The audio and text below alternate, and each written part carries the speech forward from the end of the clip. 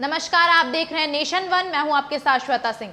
Sushant Singh Rajput case में drug angle सामने आने के बाद अब पूरा देश नशाखोरी को लेकर आवाज़ उठा रहा है। वहीं जिस तरह से पूरा बॉलीवुड इस ड्रग एंगल पर घिरता जा रहा है, ठीक उसी तरह अब शांत और सभ्य से दिखने वाला जो उत्तराखंड है, अपनी संस्कृति के लिए पहचाने जाने वाला जो उत्तराखंड है, वो धीरे धीरे इस नशे के दलदल में धसता जा रहा है।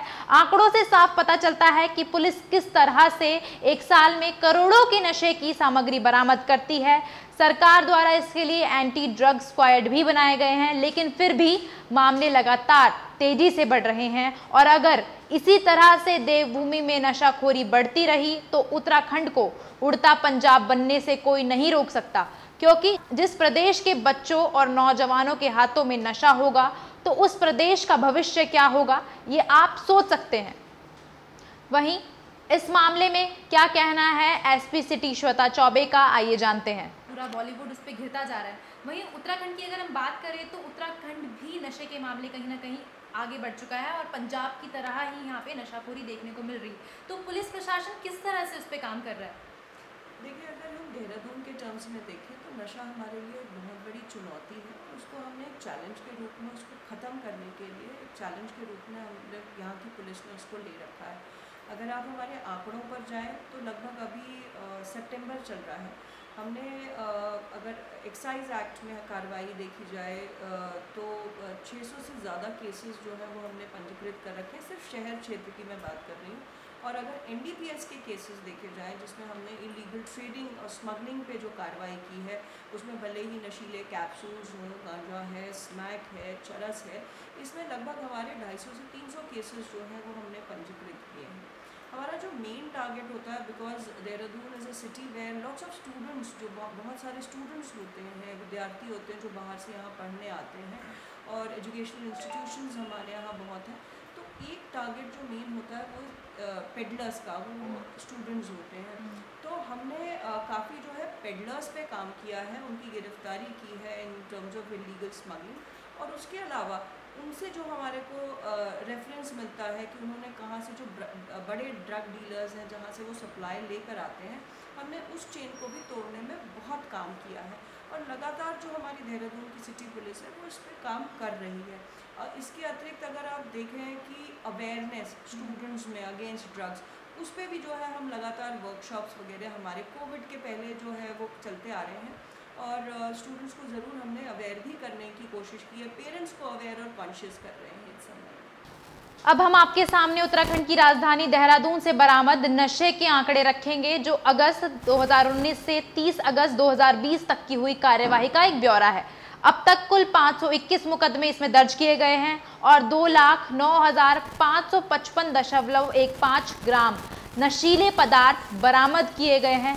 जिसकी कीमत छः करोड़ तैंतीस लाख सतासी हज़ार चार सौ नब्बे रुपये है और इस मामले में अब तक 524 गिरफ्तारी हो चुकी हैं। वहीं एक अक्टूबर यानी आज से नशे पर अपनी पकड़ बनाने के लिए और इसे खत्म करने के लिए देहरादून पुलिस एक बड़ा अभियान शुरू करने जा रही है, जिसका नाम है ऑपरेशन सत्य, जिसमें एसपी क्राइम लोकजीत सिंह को नोडल अधिकारी बनाया गया है। और ये जो अभियान है, वो चलाया जाएगा एक महीने तक। इस ऑपरेशन सत्य में क्या कुछ कहना है? देहरादून के डीआईजी अरुण मोहन जोशी का रिपोर्ट देखिए।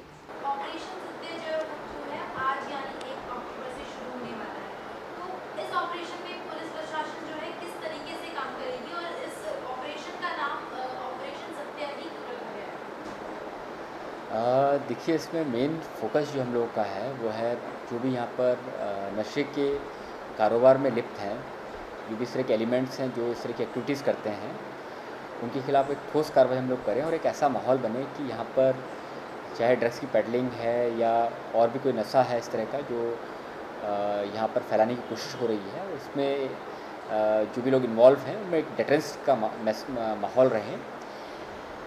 इसमें जो हमारे एसपी क्राइम है, उनको उसका नोडल ऑफिसर बनाया गया है ओवरऑल इंचार्ज हैं इस पूरी ड्राइव के।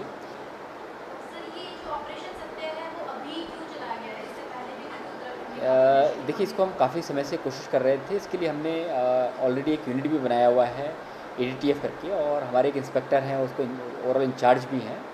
और हमारा फोकस ये था कि जो यहाँ पर ड्रग्स आती हैं, जो स्मैक आ रही है, क्योंकि वो बाहर से सप्लाई होती है, उस सप्लाई चेन को ब्रेक किया जाए, और जहाँ उनका सोर्स है, वहाँ पर हम लोग काम करें। बीच में लॉकडाउन का फ़ेज़ था, और उसमें तमाम चीज़ें डिफरेंट तरीके से हो रही थी। अब चीज़ें थोड़ा सा नॉर्मल हो रही हैं। तो जो अब रूटीन पुलिसिंग है उसको हम फोकस कर रहे हैं और ये जो पेंडिंग था इसको इस काम को भी कर रहे हैं। आज से जो ऑपरेशन सत्य चलाया जाएगा उसमें एसपी क्राइम लोकजित सिंह को नोडल अधिकारी बनाया गया है जो इस ऑपरेशन की बागडोर संभालेंगे। आइए जानते हैं कैसे वे इस ऑपरेशन के लिए काम करेंगे?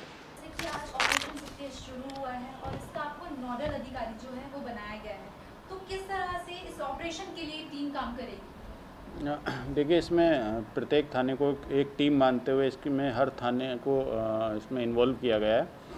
थाने का प्रत्येक कर्मचारी इसमें अपना रोल प्ले करेगा और इसमें हर व्यक्ति को हमने टास्क दिया है और इसमें जनता का सहयोग, एनजीओ का सहयोग और जो विशेषज्ञ हैं इस फ़ील्ड में जो काम कर रहे हैं, उन सभी लोगों के सहयोग से एक व्यापक अभियान चलाया जा रहा है। ये अभी क्यों शुरू हो रहा है ये अभियान? क्योंकि इससे पहले भी उत्तराखंड में काफ़ी नशे के केसेस देखने को मिले हैं। क्या ये जो मुंबई वाला बॉलीवुड जिस तरह से नशे पे घिरा है उसके बाद ही उत्तराखंड में ये शुरू होने वाला है देहरादून में हम्म। देखिए नशे के विरुद्ध उत्तराखंड पुलिस और देहरादून पुलिस की लगातार कार्रवाई होती रही है। इस बीच लॉकडाउन के दृष्टिगत अन्य कार्यों में बिज़ी होने के कारण थोड़ा सा हमारा ध्यान इस पर से हटा था लेकिन अब फिर से इस पर हम रीफोकस कर रहे हैं। उसी क्रम में इसको नए तरीके से नए तरीके से इसको शुरू किया जा रहा है।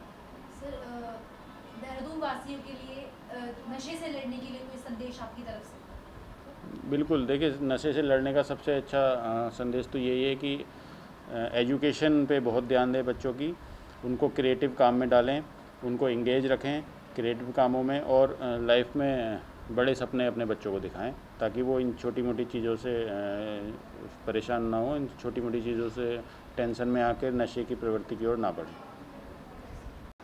इस कड़ी में फ़िलहाल इतना ही।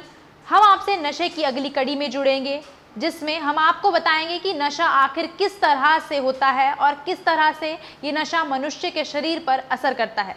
नेशन वन की खबरों के अपडेट के लिए आप हमारे चैनल को लाइक करें, सब्सक्राइब करें, पसंद आई वीडियो को शेयर करना ना भूलें और ज़्यादा जानकारी के लिए लॉगिन करें www.nation1.tv पर। अधिक जानकारी के लिए आप हमें ट्विटर फेसबुक पर भी फॉलो कर सकते हैं। तो खबरों की ज़्यादा जानकारी के लिए बने रहें नेशन वन के साथ।